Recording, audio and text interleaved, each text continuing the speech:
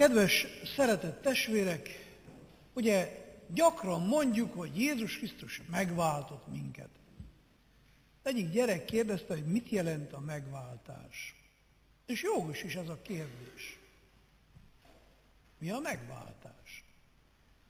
Emlékszem, gyerekkoromban, ugye én Csíkszeredában nőttem fel a város szélén, úgy hitták azt a részt, hogy ligat. És hát ugye, mint gyerek, tudtam, hogy van egy másik része a városnak, ami nem túl messze van tőlünk, a Lipován, ahol bizony olyan fiúk vannak, akik meg akarnak rozsolni minket, de mi fogjuk őket megrozsolni. Én voltam a csapatban a legkisebb, nem erőst értettem, mit is jelent a rozsolni, de tudtam, hogy ezt el kell intézni, ez férfi dolog. És mentem a nagyfiúk után, és hát állandóan a szomszéd utcában lakó fiúkkal háborúztunk.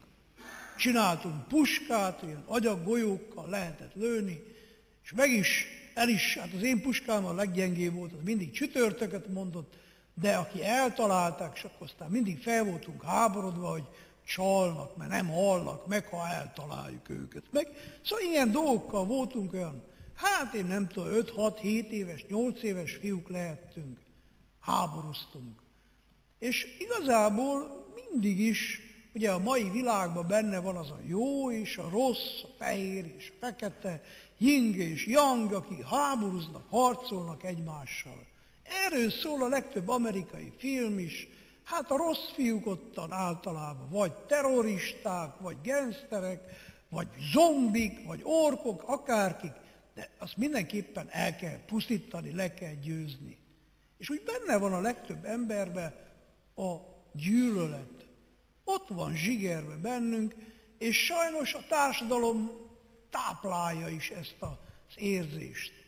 Aztán emlékszem, hogy mikor ötödikesek lettünk, felkerültünk Csíkszeredába, gimnáziumba, és pont pattársam pont a másik utcában lévő fiú volt. Az elején nagyon gyanakadva néztem, mérlegeltem, de aztán kiderült, hogy jó fej, gyerekkorom legjobb barátja lett az ellenség. Én nem tudom, olyan hatodikos, hetedikes lehettem már, amikor emlékszem, hogy a templomba hallottam a garadai ördöngös történetét, hogy Jézus megszelidítette ezt a rossz embert, összebarátkoztak. És hát ugye nálunk is volt az udvaron egy kutya, ki is volt írva a kapura, hogy Kühne Rau, harapós kutya, és hát ugye még én is féltem, mert ugye város szélén laktunk, rókas, mi egymás, és bizony Hát a kutyát arra tartották, hogy megvédje a majorságot, meg egyebeket. És hát ugye ez eléggé hamisnak is, úgy nevezték akkoriban, harapósnak nevelték, ugye láncon tartották, és bizony, hát mindenre, mindenkire ugatott. Na és, hát itt van az én garadai ördöngösöm, próbáljuk meg. És a konyháról elkezdtem ilyen olyan, nem csak csontot, egyebet is elcsenni és vinni a kutyának. És nagyon hamar eljutottunk odáig, amikor a kutya meglátott, két lábra állt, farkát csóválva, örömében nyűszített, és igen-igen jó barátok lettünk. És igenis megértettem, hogy Jézus Krisztus nem levegőbe beszél. Tényleg. Fontos, hogy a szeretet útjára lépjünk. Félelemből területét védte, a kutya ugatott mindenképpen, de lám-lám, a jó szó, a szeretet, türelem meghozza a gyümölcsét. És igazából ez volt nekem a nagy felismerésem, hogy, hogy igen, megváltott Krisztus a gyűlölettől, a haragtól, az ellenségeskedéstől. És ugye abban az időben hát a kommunistákra illet haragudni, a rendőrökre, Székelyföldön, és tényleg, hát semmi jót nem mondtak az emberek. És úgy próbáltam, hogy hogy lehet tényleg a szeretettel közeledni emberek felé. És lépten nyomon próbáltam, hogy lássuk, működik-e ez a Jézus Krisztus által meghirdetett fene nagy szeretet, lássuk a hétköznapokban. Tényleg működik? Emlékszem, már teológián voltam, amikor Hát ugye csomagot vittünk a postára, ugye téli holmi, tehát akkor nem volt autózás, nem jött senki után autó, hanem felraktuk csomagba, pulóvereket, ezt-azt, és hazaküldtük tavasszal. És hát ugye, hogy mossák ki, meg foltozzák meg, meg hát szépen. Abban az időben nem volt ennyi turkáló, nem volt ennyi ruha nemű, és hát kivittük az álló a postára, és az előttem való srác szerintem sokkal jobban becsomagolta, mint én, de hát volt egy postás néni, az nagyon lekiabálta a fejét, hogy nem jól van becsomagolva, vigye haza, csomagolja újra, meg így, meg úgy, meg amúgy. Nos, utána jöttem én is. Mind gondolkoztam, hogy hát most hazaküldenek, aztán megint mikor jövök vissza, meg újra csomagolni, meg milyen macerás. És hát mondtam a néninek, hogy szeretnék egy képeslapot venni, és csodálom a türelmét, hogy ennyi, hát, hogy mondjam, össze-vissza emberrel maga, milyen szépen tud beszélni, hát pont előttem hallottam, nem beszélt szépen, és igen-igen kedves szavakat mondtam neki. Na elévette azt a kis képeslapot, nem tudom mit, kifizettem, és mondtam, hogy nagyon-nagyon szégyellem, és félek is megszólal, nekem is van egy csomagom, és nem tudom, mit tetszik szólni hozzá. Néni megnézte, nem jó van csomagolva. Vette az ollót, levágta róla a spárgát, és ő maga újra kötözte úgy, ahogy kell, és akkor mondta, így kell csinálni. Köszönöm szépen. Igen, kis dolgokba is a türelem, a jó szó meghozza a gyümölcsét. És igazából, hát hogy mondjam, a gyerekekkel is ugyanezt csináljuk. Próbáljuk. Szeretettel, ugye, hágióterápia. Szeretett gyógyír, amit Jézus Krisztus hozott el nekünk.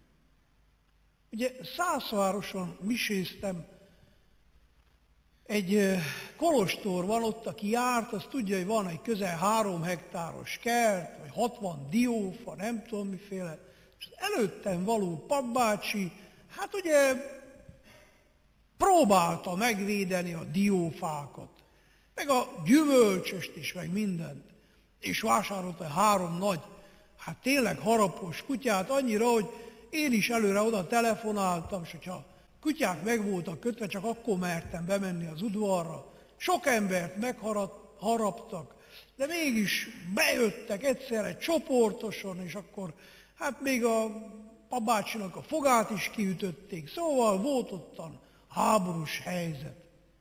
És ugye 2000-ben, mikor ideadták a kulcsot, ugye elmentek a többiek, és azt mondták, hogy filia lesz, és havonta egyszer menjek le százvárosas tartsak misét Déváról.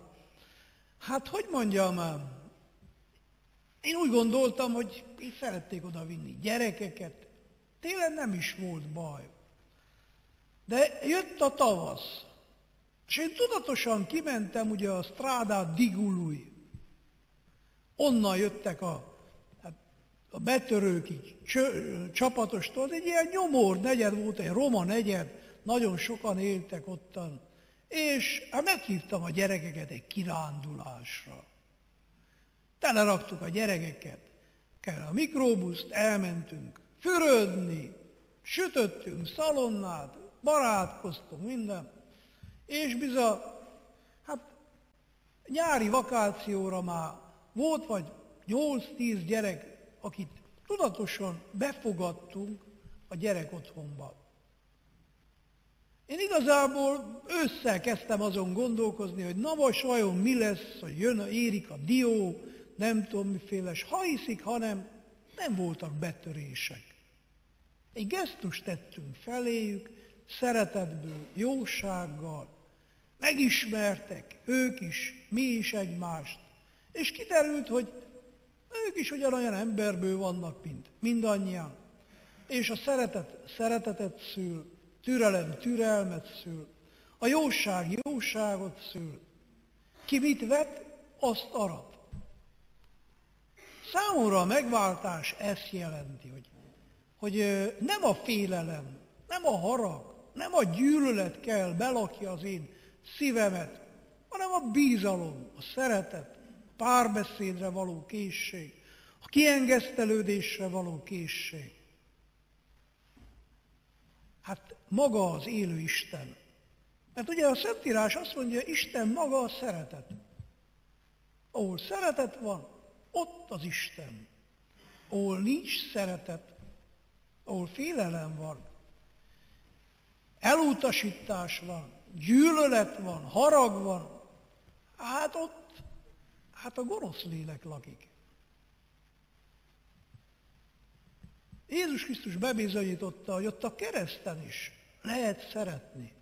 Nagy pénteken. Minden szavában Jézusnak ott van a szeretet. A jobblatónak még ma velem leszel a paradicsomba. Képes ebbe a szélsőséges, nehéz helyzetbe is Jézus befogadni. Kinyújtani, hát az átdöfött, odaszegezett kezét másik felé. Vagy ugye olyan gyönyörű az is, amikor, hát ugye semmilyen nincs, csak az édesanyja szeretete, a barátai ragaszkodásai. És mit tesz Jézus? Ime a te fiad, asszony, ime a te fiad. És Jánosnak is, ime a te anyád. Alig tud beszélni, és mégis ajándékot ad. Nem kér, hanem áld. Igazából mi Máriát azért nevezhetjük mennyei édesanyánknak, mert Jézus a kereszt alatt, hát nekünk adta. Mert mindannyiunknak szól a Jézus is szó, hogy ime a te. És mindannyian bizalommal nézhetünk Máriára, aki vérben szült bennünket. Igen, a kereszt alatt lettünk mindannyian Mária gyermekei, a kereszt alatt lett Mária, mi mennyei édesanyánk, akihez bizalommal fordulhatunk. De ugye utolsó lelete Jézusnak mi? Atyám, kezedbe ajánlom lelkemet. Mennyi, hogyha nem írt át a világ megváltásának forgatókönyvét. Jézus kiüríti a kelyhet, de ez nem jelenti azt, hogy ő eltávolodik a mennyei atyától. Hogy fenntartásai vannak. Hogy megteszem, de csikorgatja a fogát. Nem. Atyám, kezedbe ajánlom lelkemet. Testvéreim, ez a megváltás. És ha erre az útra ráléptek, akkor mindig, mindenütt lehet szeretni, bármi is történik körülöttünk. Jöhet ide ellenségeskedés, háború, bármi. Ha a szeretet költözik a szívedbe, akkor a mennyország benned lakik. A pokol nem a túl, túlvilágon kezdődik, az már itt. Az önzésed, a gyűlölködésed, a haragod, az már a pokolnak az előszele, előszobája.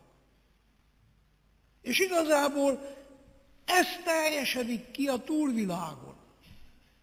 Az individuálisan magadba zárkozás, a mindenkit elutasítás, a félelem, a harag, a gyűlölet, ez nagyra nő, és ez maga a pokol. És Jézus Krisztus ettől vált meg bennünket a kereszt alatt. Igen, képes vagy szeretni. Ugye, amikor annak idején volt olyan is, hogy behívattak a város vezetőségéhez, ott volt a prefektus, polgármester, Ott voltak a, mit a főtanfelügye, főjegyző, a rendőrség parancsnoka, vagy 8-10 ember, és hát mondták, csak egyedül mehetek be. Én is vittem egy pár kollégát, nem engedték be. Hát tudjátok, hogy én románul tudogatok, de hát ez, hogy mondjam, ilyen jó székelyesen tudok én románul. És az ember, hogyha feszült, ideges, akkor még, még azt, amit tud, azt is elfelejti. Na és hogy én mit akarok egyáltalán, meg nem szégyellem magamot, és ők ültek egy nagy asztal mellett, és az asztal előtt, vagy négy méterre, hogy nagy megfertőzzem őket. Szék volt, és mind az inkvizíció előtt ott ültem. Én magamban végig arra gondoltam, most nem az a lényeg, hogy ezek az emberek áldását adjuk, adják a munkámra, vagy nem. Az a lényeg, hogy én szeressem őket. Ezekért az emberekért Jézus Krisztus meghalt a kereszten. És nekem egyetlen dolgom van, tisztelettel, szeretettel, segítsem, hogy az ő munkájuk, hát a város felvilágoztatása jobban menjen. És minden mondatomban valamilyen módon ez volt. Tanfelügyelőnek elmondtam, hogy én nagyra értékelem azt az erőfeszítést, hogy egy ilyen város ennyi nehézség után is minden gyerek után kinyújtsa a kezét. És meg is értem, hogy hát nem tudnak mindenkit összeszedni. És hogyha gondolják, én szövetségese vagyok önnek. Én a ön munkatársa vagyok. Ha nem is ad nekem fizetést, de ugyanazt csinálom. Elmegyek a bajba lévő gyerekhez, összeszedem, és elviszem az iskolába. Mert az anyukája vagy apukája ezt nem tudja megszervezni. És elmondtam a polgármesternek is, hogy hát tudom, és nagyra értekelem azt a munkát, amit maga végez. És tudom, hogy egyik legnagyobb problémája az újságban olvasom, hogy hát igen, az utca gyerekek, hogy mi lesz velük. Hát mondom, én tudom, hogy maga keres olyan embert, aki ebben segít. Nézze, én vagyok a maga embere. Mondja, hogy hogy csinálom, és úgy fogom csinálni, bízalommal. És ha hiszik, ha nem, hát ugye én tudtam, hogy ebbe azért, hogyha románul csinálnám, akkor a mennybe mennék, de hát mivel magyar gyerekeket magyar iskolába vittük, magyar nyelven próbáltuk tanítani, de mondta én, te mindenki románul, magyarul egyformán megtanul, egy szekér előtt, ha van két ló, mind a kettő húzza, egyiket se kell lelőni. Tehát nem valamit elveszek, hanem még egy pluszot adok a gyerekeknek. Tudtam, hogy ez nekik az is szálka. És a végén mondtam, hogy láttam egy nagy keresztet, ugye ottan akkoriban is, azt hiszem most is ben vannak a hivatalokban, ugye a, hát a kereszt, mondtam, hogy látom, önök is keresztények, álljunk fel, és kérjük a Jóisten áldását, mert hogyha együtt akarjuk, hogy ez a város felvirágozzon, akkor biztos megkapjuk együtt az útat. És felálltam, és behunytam a szememet, és elkezdtem mondani, hogy tátalna a mi atyánkot. És olyan érdekes volt, hogy szere egyenként felálltak ezek az urak, és együtt imádkoztunk. És Istennek legyen hála, készülünk a 30. születésnapjára a Szent Ferenc Alapítványnak.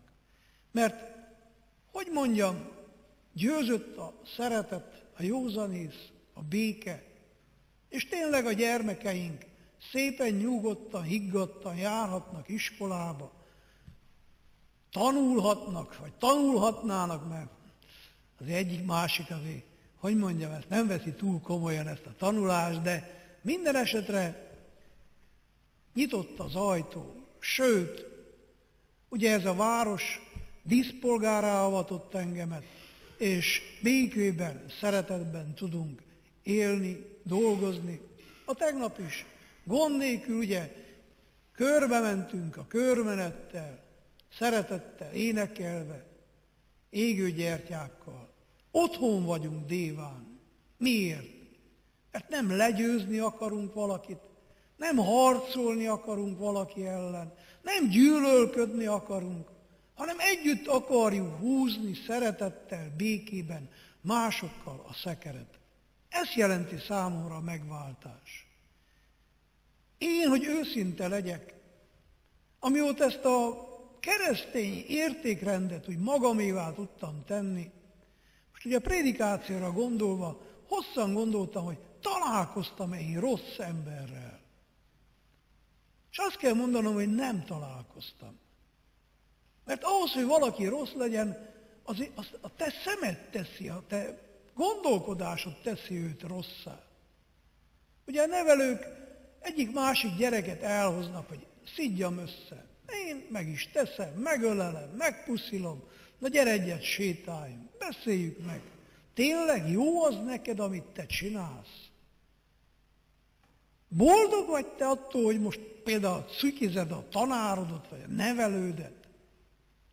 És általában a gyerekek azt mondják, nem jó ez nekik. Hát mondom, akkor ne csináld. Hogy tudnád megszelidíteni a tanárnőt? Ugye a gyerekeknek elmondtam, hogy én annak idején hogy tanítottam meg édesanyámot igen mondani. Nagyon egyszerű. Hát ugye kéri ő, hogy vidd le a szemetet. Te mondod, igen, édesanyám.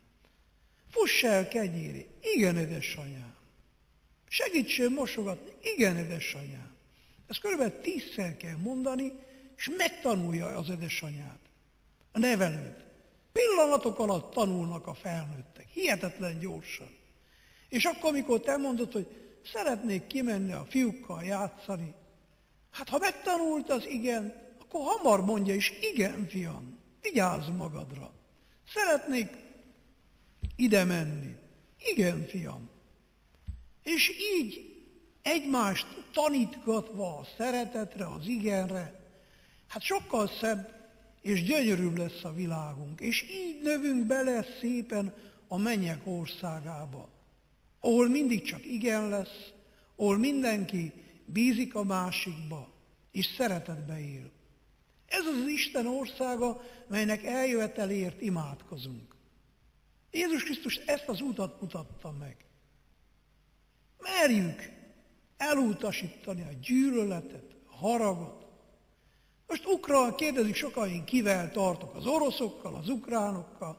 Hát mondom, én a szeretettel tartok, és azért imádkozok, hogy jöjjön el az a nap, amikor az ukráns, az orosz egy asztalhoz ül, elég jó vodkájuk vannak, kocintanak.